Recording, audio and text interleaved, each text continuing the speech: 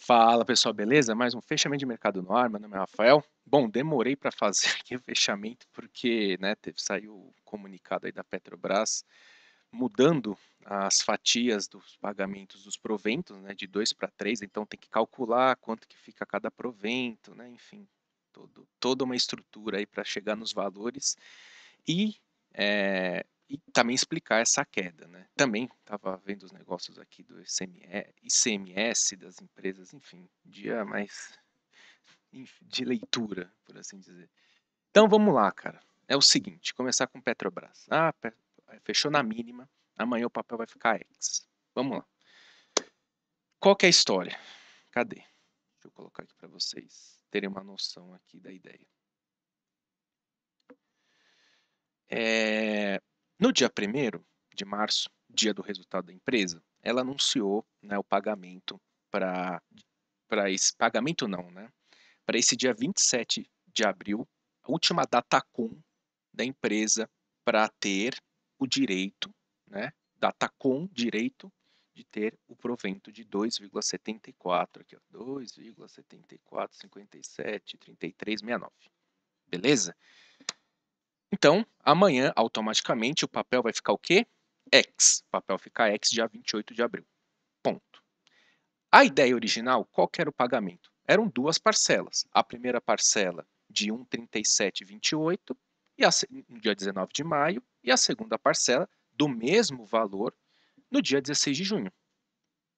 E qual que era a ideia? A ideia era pegar 0,4980 né, esse 0, 49, 80 tal, para fazer né, uma reserva estatutária, que seria o quê? Para você é, separar uma grana para investi novos investimentos. Né? E como a gente sabe, deve ser também utilizado para equilibrar mercado, essas coisas. Ponto. Aí teve a votação, hoje teve a assembleia, né? Começou uma hora da tarde, terminou agora. E o que foi definido? Até, até aqui aprovou a retenção desse 6,5 bi. Ou seja, ou seja, essa reserva estatutária não foi aprovada. Né? Aqui, aqui, ó. Mas acabou não sendo criada. E aí, como uma manobra para não, para quem sabe isso ser votado mais para frente, o que que a, que que a Petrobras fez? Bom, lembra que a gente ia pagar em duas parcelas? Agora a gente vai pagar em três três parcelas. E como que vai ser dividida essas parcelas? Dia 19 de maio, vai pagar 17,9 bi. 17,9 bi equivale a 1,37. Dia 16 de junho, 11,4 bi. Isso equivale a 0,87. E dia 27 de dezembro, 6,5 bi, que equivale ao valor né, de 0,498. Tá? Então, assim, é, foi uma manobra da Petrobras para, quem sabe, né, se tudo, se a, a empresa vai, vai poder votar mais uma vez toda a Assembleia, né, todo o resultado da Petrobras vai ter essa ideia. Né, provavelmente é, vão discutir essa, essa, essa reserva estatutária. Se tudo for revertido para o acionista, né, se você somar lá né? Tá até aqui. Se você somar os valores, né? 1,33, 1,37, 0,88, tá? Dá o quê? Os 2,74 originais. Né? Se você retirar o valor daqui, dá os 2,24, que era o, o, né? Provavelmente, não sei se a depender do, anda, do andamento da economia, provavelmente vai ser esses 2,24. Então, é, foi isso que aconteceu. E aí, no final das contas, né, a empresa fechou na mínima do dia. Né? E por quê? Porque vai ficar com essa espada na cabeça de que talvez essa, essa redução do dividendo um dia vai aparecer. Tá? Uma dica importante, se você não me segue no meu Instagram, vai lá, vai lá, Rafa Infobolso, que tem toda, vou, né, vou postar aqui toda a explicação em relação a isso, que é o que é, ficou meio confuso. A realidade é essa, né? Ficou bem confuso. O cálculo, você tem que pegar o número de ações. Enfim, não é um negócio muito simples de fazer. Mas é isso.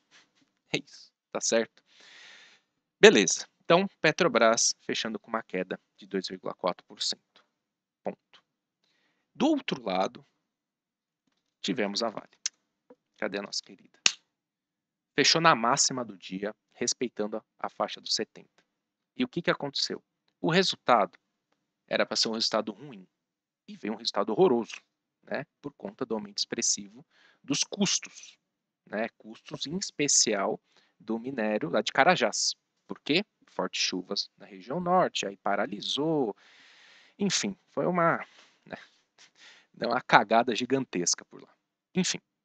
E aí, teve a teleconferência da, da, da Vale, e a diretoria ela reiterou o, que esse aumento do custo foi um não recorrente, de fato for só se ficar chovendo o que choveu o ano inteiro, a gente está aí fechando, não vai ter lá mais laninha tal, e que a empresa se comprometeu em cumprir o guidance deste ano, né, levando em conta a retomada da produção de Carajás, que é um minério de, maior, de alta qualidade, né, então você consegue, é, como a gente viu no resultado, a gente teve, teve uma queda do preço médio do minério negociado, sendo que o minério passou o trimestre inteiro ali no 120, 130, né? Ficou próximo dos 105.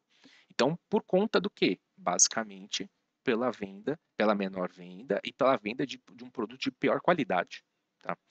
Então, se a empresa considera como isso não recorrente, né, isso foi um não recorrente, e ela mantém o guidance, o que, que a gente tem como premissa que a gente vai ter a manutenção dos preços, do a, o desempenho operacional que a gente vem acompanhando na Vale nesses últimos tempos. Né? Que aí você vai ter um preço de minério melhor, você vai ter um controle de custos, afinal de contas, é, eu não estou aqui. Ah, deixa eu pegar aqui. Até mandei lá no pessoal do, do Infobolso. O custo, para você ter uma ideia, o custo de caixa é, lá do, da, das operações, ele foi de 21,2 por tonelada para 26,7 26, a tonelada. Foi um dos maiores custos é, médios desses últimos anos, anos, né? Lembrando que o guidance está entre 20 e 21. Então foi um aumento expressivo. O bom da Vale, que o fluxo de caixa, a geração operacional de caixa foi sólida, 2,3 bi, show. No preço atual, provavelmente, se, se, pagar o dividendo mínimo, vai ter um yield de 8%. Tá bom, né? Tá um yield interessantinho. Tá? Então, é, a diretoria falou, não, isso aí é um não recorrente, a gente vai ter uma, o desempenho operacional vai melhorar. Levando em conta é, que essas, a condição de oferta e demanda de minério de ferro está apertada, né? É, inclusive né, sustentando essa faixa dos 100 dólares a tonelada inclusive minério de ferro hoje mantendo aí o ritmo de repique. E tendo em vista que a gente vem observando uma recuperação do setor imobiliário chinês e os baixos estoques da commodity, em especial nas siderúrgicas, quem sabe a gente possa ver aqui né, uma recuperação mais consistente e o retorno para essa faixa dos 75, 76 reais. Tá? Então, é, teve essa, essa briga, né? Vale na máxima e Petro na mínima. E aí o Ibovespa fechou praticamente estável, é praticamente estável, não, até que melhorou um pouquinho, subindo 0,60, um bom volume, né, um bom volume, isso, isso chama bastante atenção, e se eventualmente confirmar esse candle de reversão, ou seja, né, fechar é, o último pregão do mês acima dos 103 mil pontos, o mercado marca um fundo intermediário acima dos 101 mil pontos, mantém né, esse, essa, esse canal de alta, ele volta a fazer sentido, e se eventualmente conseguir romper os 104 mil pontos, quem sabe voltamos para a faixa dos 106 mil pontos. Beleza? Bom, é, lá no Infobolso, né, quando voltou para essa faixa dos 70, a gente aumentou mais um pouquinho de vale, e eu não esperava um resultado tão fraco, vou ser bem sincero, pensei que os custos iam ser um pouco não tão bizarramente altos, Mas nesses níveis a gente nunca sabe o retorno, mas a gente sabe o risco que a gente está tomando. Nesses níveis é um risco-retorno interessante. Tá? Além disso, né, outro destaque do dia foi o dólar. Porra, dólar perdeu 40 aqui, fechou na, praticamente na mínima. Né? A gente teve, caiu uma queda, o dólar à vista, né? caindo 1,44, fechou em 4,98, pressionado basicamente né, pelo resultado abaixo do esperado do PIB norte-americano no primeiro trimestre, a primeira prévia do PIB, 1,1% contra 2% esperado, o que sustenta né, a expectativa de que o Fed vai ser mais brando é, do que esperado na condução da política monetária. Né? Lembrando que amanhã, 9h30, a gente tem o PCE de março. PCE de março, que é o índice de inflação, né? preço ao consumidor, que é mais acompanhado pelo Fed né, na tomada de decisão. O mercado espera uma variação de 0,1 para o índice cheio e 0,3 para o núcleo, né? que o núcleo retira os itens mais voláteis, como a parte de combustíveis e transportes. Beleza? Bom, é... falamos aí de Petro. Ah, outro ponto importante hoje, é, que repercutiu hoje, na verdade, né? Ontem a gente teve a decisão do, do, do STF, do STF? Do, do STJ, do STF não, né, STF não faz isso aí, é do STJ, né? É, em favor da tributação dos benefícios fiscais do ICMS né, que é aquela questão né, de subvenção para investimento, e aí se entra na subvenção de investimento, que é tudo que é, que é tudo é tudo que é benefício do, do ICMS entra em subvenção, você está é, sujeito, né, as empresas, a pessoa jurídica está sujeita à incidência de tributo. Né. Então, é, o que que e aí se você dá uma olhada, por exemplo, via, vare, é, via varejo, Vivara, que é importante, é uma importante fatia, Arezo, que é uma importante fatia. O estranho que foi açaí, apesar caiu, né? É, é estranho, no né? Mercado ele vai fazendo o seu preço, mas é uma tem uma importante fatia. Mas se a gente focar em Arezo, em Vivara, por exemplo, até Ipera, inclusive Ipera tem resultado hoje, uma reação forte dessas empresas. Por quê? É, aí, cara, eu vou ser bem sincero, estou trazendo aqui é, fiquei lendo, lendo, lendo. Mas, cara, é assim, você tem que. Você tem que ir lá na, no, na decisão do STJ. É tributo. É, são coisa de tributário, né? É, coisa de. Como é que eu posso falar? Direito tributário. Que cara. Né? Se eu soubesse direito tributário, não, taria, não seria analista, seria. né, trabalharia com direito tributário estaria explodindo de ganhar dinheiro. Porque, cara, isso é um negócio muito difícil, muito difícil. E aí, lendo alguns relatórios tal, o que me chamou muita atenção e que trouxe esse alívio aqui para essas empresas é, foi um comentário do JP Morgan. Eu não consegui falar com nenhum analista do setor, mas chamou bastante atenção. Que na decisão do, do STJ, teve um entendimento é, que caso o contribuinte, né, a pessoa física, ela demonstre que esses incentivos foram utilizados para estabelecer ou expandir um negócio, é, a subvenção ela vai ser concedida. Então, aí ela não se encaixa nesse processo, né? E aí ela continua tendo esses benefícios.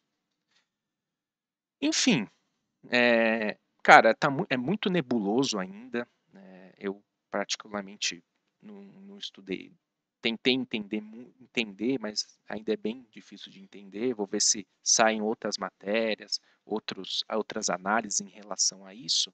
Mas foi muito importante. Por quê? Vivara fechou na máxima, volume acima da média. Arezo, belíssima recuperação, volume acima da média. E são dois papéis que, por exemplo, estão em níveis de suporte bem importantes, né? E que é, aqui é um ponto interessante para pensar em compra. Então, assim, é aquela coisa, né? Tem coisas que você. Eu, particularmente, eu não entendi. Né? Entendi muito pouco. Entendo o que, que é, o que, que não é tal, mas se você falar, para, é compra ou é venda? Eu não sei responder. De verdade, estou sendo bem sincero, não sei responder. Mas, em vista da reação dos papéis aqui, parece né, que esse entendimento de que se, as, se esses incentivos fiscais foram utilizados para estabelecer ou expandir um negócio, que a maioria faz isso, acho que isso aí pode ajudar a amenizar esse impacto para as varejistas. Por exemplo, a gente viu o resultado, viu o desempenho de Arezo e de Vivara. Beleza? Bom, acho que esses são os grandes destaques do dia, é, em especial essa parte de Petrobras e de Vale. E o dólar, né? E o dólar foi um grande destaque. Só para a gente fechar, é, o que, que a gente teve aqui? 3R, né? Aqui. Deixa eu, deixa eu pegar aqui. 3R. Teve um resultado operacional ok e todo mundo estava com, com, as dúvidas em relação, né? Pô, fez oferta de, oferta de ações, a empresa está quebrada. Não. Teve a teleconferência, a, a diretoria falou, não, isso aqui foi um, um movimento para a gente aproveitar, tá, o momento do mercado, tá lá, lá.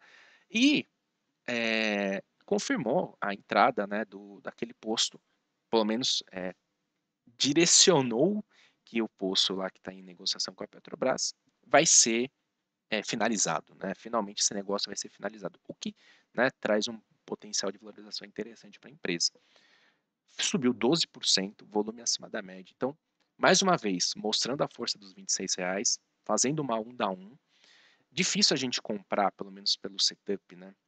Um papel que subiu 12%, está é, numa resistência importante, mas aqui é um ponto de atenção de que se o papel 1 da 1, 1 da 2, pode abrir uma boa oportunidade de compra. Eu gosto muito de PRIO, gosto muito, a gente tem carteira e eu acho que tem, tem muito mais a entregar que 3R, mas no preço atual 3R é bem barato.